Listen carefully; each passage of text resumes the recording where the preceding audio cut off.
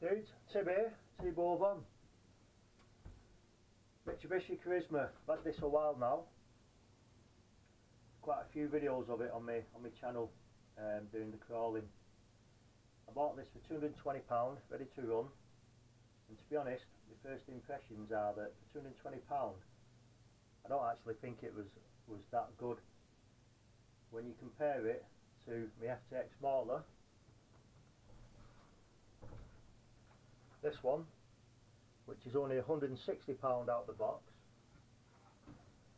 And the Carisma's performance don't come anywhere near the Mauler but when I get a new car out of the box what I like to do before I start playing around with it I like to put a few videos up of it in its total standard form and people can see or anyone thinking about buying one obviously they can see what it can do and what it can't do when I buy a car that's that's what I like to see. I like to see the standard car as it comes to see how it performs before it's messed with. So the main issues I found with this car. Number one the tyres. These tyres um, are rubbish.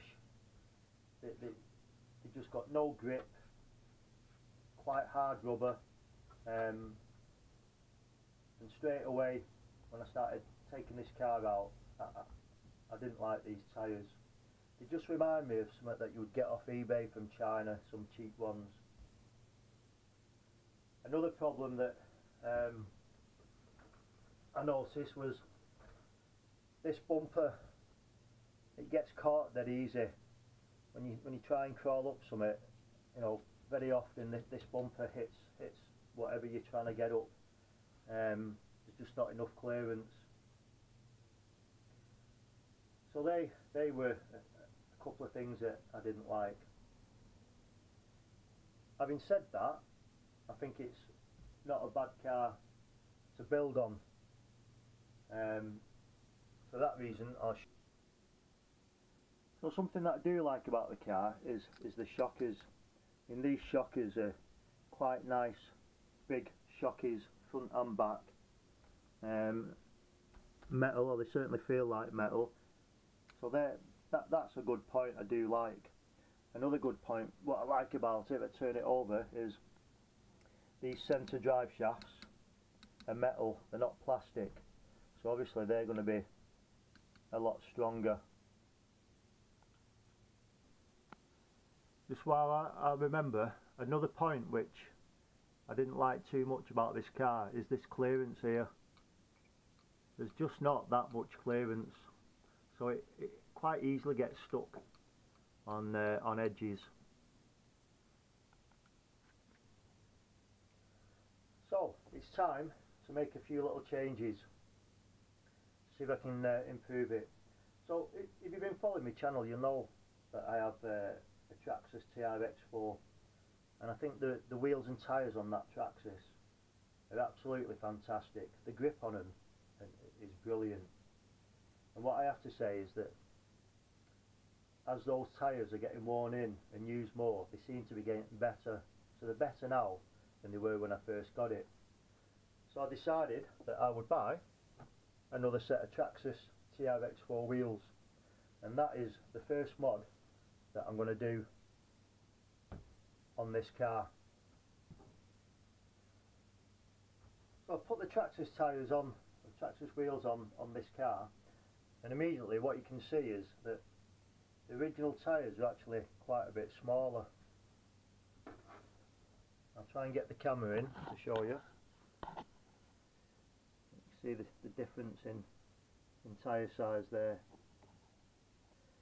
So because of that obviously what's going to happen is we're going to catch here you know there's very little movement to uh, to allow for that now I can over overcome that, that issue quite easily.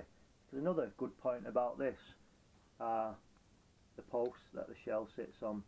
As you can see, if I try and get in, quite a nice sturdy post and there's plenty of uh, room for adjustment on the front ones and the back ones as you can see.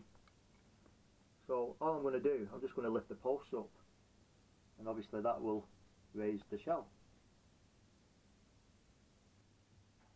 Now what I've done, I've adjusted these shell um, seats, stems, pegs, whatever you want to call them. These front ones I've just lifted up one notch and these back ones I've lifted up two notches. Now if I sit that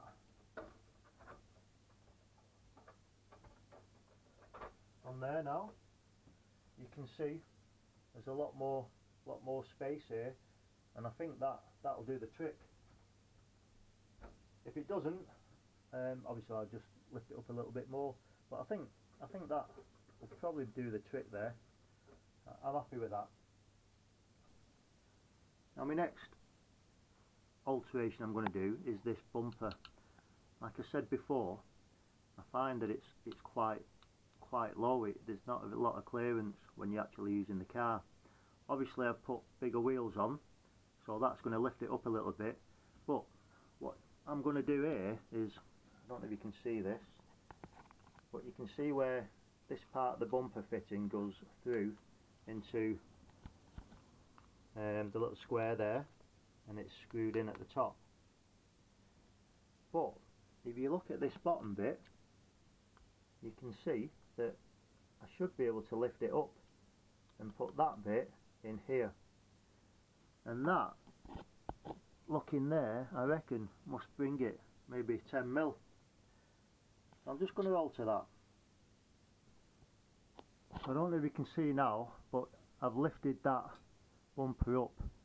So it was that part that was screwed in originally but that's now above and the bottom part is slotted in and screwed. And you can just about by bending it a little bit like so. Get the two screws in. But that's lifted up a good 10 mil I would say at least. And obviously a bit higher because of the wheels the bigger wheels as well. Now what I'm also going to do I'm going to start running this on a 2S Lipo um, my, my previous videos it's just been running on a standard 6 cell NIM battery. But on the ESC it's just got this standard little little plug here that you move move along if you want NIM batteries.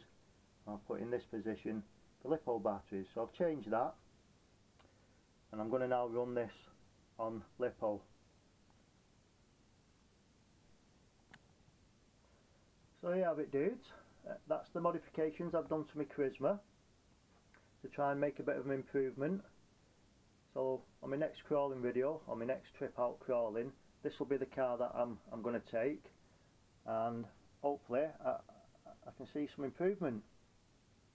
So watch this space